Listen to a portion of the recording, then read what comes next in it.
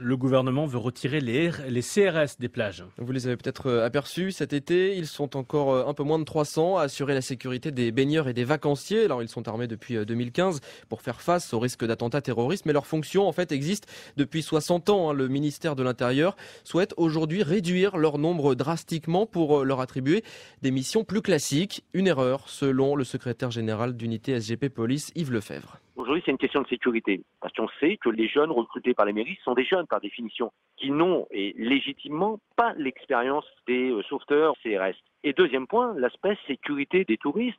Ne perdons pas de vue qu'un des modes opératoires des terroristes, c'est justement l'attaque sur les plages. On l'a vu euh, en Tunisie, entre autres, et pas très loin de nous. Donc aujourd'hui, les CRS sont armés, ils peuvent réagir, ils sont là à effet dissuasif.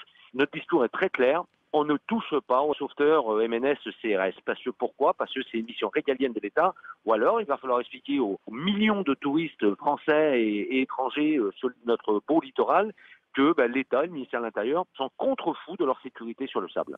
Yves Lefebvre, le secrétaire général d'unité SGP Police, avec Thomas Proutot pour RTL.